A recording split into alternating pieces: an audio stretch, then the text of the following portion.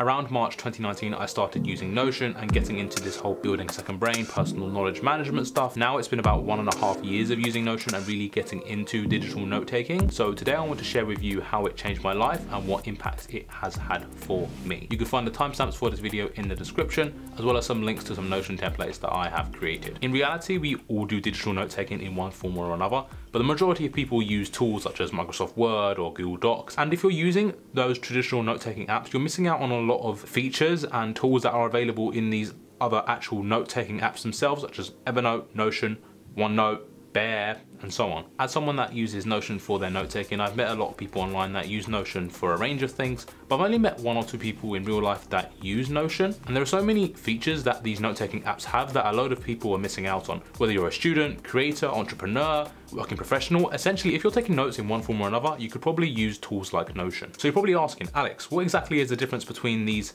note-taking apps and the traditional note-taking apps. Like, what's the difference? I'm happy, I'm fine, I'm using Word. Why should I use an app like Notion? Well, I'm about to answer that, and it might just change your life like it changed mine. So we have traditional note-taking apps such as Microsoft Word, Google Docs, and they follow a type of structure like this. You can have a folder, and then within that folder, you can have more folders, and within them folders, you can have more folders, and in each folder, you can have documents. Like obviously, how many folders you want in each folder is all up to you and what you're doing and all of that kind of stuff. It's pretty self-explanatory. If you've done anything on a computer, anything for school, work, you probably use something like Microsoft Word, PowerPoint, etc. I've used it, I still use it today for some things, and all the notes are individual documents. And then we have note-taking apps such as Evernote, Notion, Bear, Obsidian, and these types of note-taking apps are where you can switch notes, which are very similar to documents in Word instantly. And all the notes are based inside of one application. And instead of having all of the documents on your hard drive or on Google Drive, for example, all of these are stored in this app. And the majority of these times you can access these notes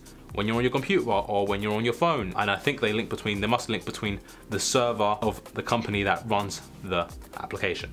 And they have this type of hierarchical structure where you can have like a page and then within that page you can have another page and within that page you can have another page and so on. For example, for university, I have this page, and within that, there's a load of different pages for different things that I'm involved in. And if we take one, for example, to go a step further, say the note-taking hub for all my notes that I take for classes, within that, I have pages for different modules and then within those pages I have individual pages for each class such as lecture 1, lecture 2, lecture 3, etc. Using Notion and having a hub where I can organise all the different areas of my life from university to the things I'm trying to learn has had a really massive impact for me. It has built structure into my life and be able to visually see all the different things that I'm involved in and working on. I have used Notion for so many things and it's been so helpful from planning my days to writing scripts as well as having a knowledge hub for all the things I'm trying to learn or want to be able to reference frequently or reference to at some points as well as having checklists for the projects that I'm working on as well as working in a team team. Also, I'm really excited that this video is in collaboration with Francesco over from the Keep Productive YouTube channel. I asked him a few questions about building a second brain and digital note taking and he has recorded his responses for us and those will be throughout this video. This will provide another person's point of view on this topic and how digital note taking impacted Francesco's life. Big thanks to Francesco for doing this and collaborating on this video, I really appreciate it. The first time I came across this app Notion and this concept of building a second brain was in one of Ali Abdaal's email newsletter issues back in March 2019. After I read it, I ended up reading some Tiago Forte's blog posts about building a second brain and downloading Notion and consuming a lot of content about how to use Notion and got really interested in personal knowledge management. So from then I started to set up my workspace in Notion. There was a lot of learning, a lot of consuming content, seeing other people's Notion setups. There's been a lot, and I mean a lot of changes in the one and a half years of using Notion. So we first got into personal knowledge management at uh, a very young age, well, young for the time, I think, uh, 14, 15 years old.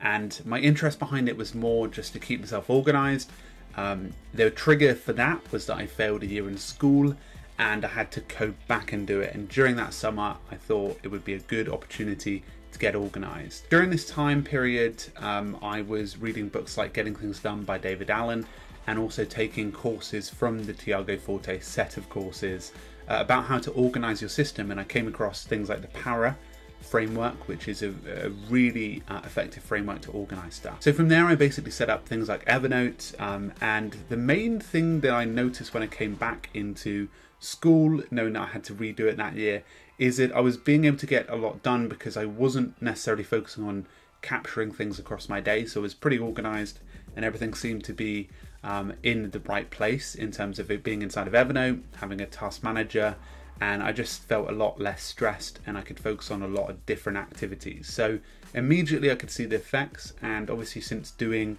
some sort of personal knowledge management system as I've gone through different apps, um, it has definitely grown and, and made me a better person. I'm at a point where I'm pretty happy with my workspace in Notion. There will most likely be more changes as I tweak things, try to improve things, learn more about how to use Notion and as more updates come out, for example, so things are bound to change. I'm also at a point where I use Notion for the majority of my writing and note taking. I actually didn't use Notion last year for my university note, but this year I started using it and it's been so much better. Once you start using Notion, you will come across these things which are a bit more complicated for beginners, such as creating databases, filtering, sorting, creating linked databases. I'm not gonna get into that nerdy technical stuff right now, so I'll leave some links to my other videos where I've talked about Notion, as well as some other curators that have talked about Notion and talk about Notion that I have found really helpful, that you might find helpful as well. Some caveats to my use of Notion is that I don't use Notion for everything. I will still use tools such as Google Docs or Microsoft Word, especially when working on group projects such as for university. As everyone knows how to use these tools, it just makes it much easier. And for something such as putting together presentations, Notion is just not feasible. Of course, I still store documents on my hard drive or Google Drive like I would need to, anything that I might need to store documents on, such as my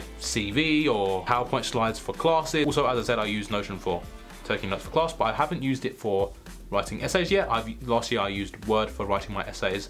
I might try using Notion for essay writing, I don't know yet, but I don't, I don't see why not, but I thought I would just point out that I've not used it for essay writing yet. My current sort of second brain or digital note-taking tool is uh, Notion. Uh, I pretty much use it daily to organize everything from my work tasks to my goals and also my notes as well. And it's actually become a really useful system.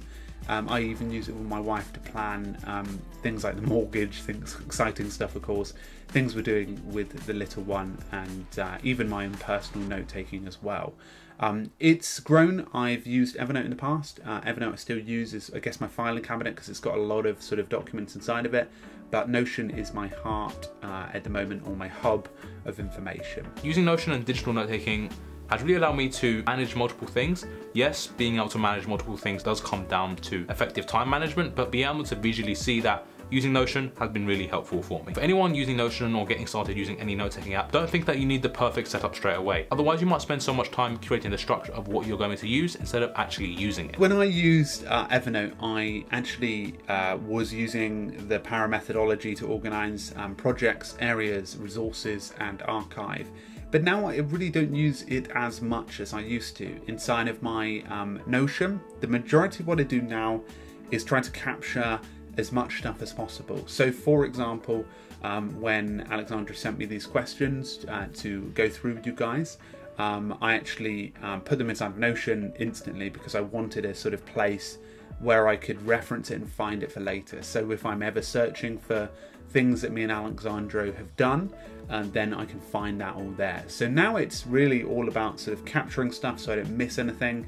Things like emails that can be captured, things like notes that I have, and uh, key bits of information. Um, some stuff I still save inside of Evernote, um, mainly the file side of stuff, but the majority of the plain text notes, and the majority of them go inside of Notion. So thank you very much to Alexandro for having me here on the channel. Um, it's been uh, very much an honour to be here. All right, thank you everyone. Cheers. Thanks a lot for watching this video. I hope you did enjoy it. Big thanks to Francesco for collaborating on this video and talking about how digital note-taking impacts his life. Make sure you go check out his channel. Link will be in the description. I really enjoyed listening to his responses and hope you find some value from them as well. Please like, subscribe and hit the bell to see more videos. It really helps with the growth of the channel and to push the videos in front of more people. Also, if you want to see more behind the scenes look into my life and my work, you can follow me over on Instagram. I also share some of the other photography and filmmaking stuff that I do over there as well. Thanks again for watching. I'll see you guys very soon. We did it. The camera didn't die.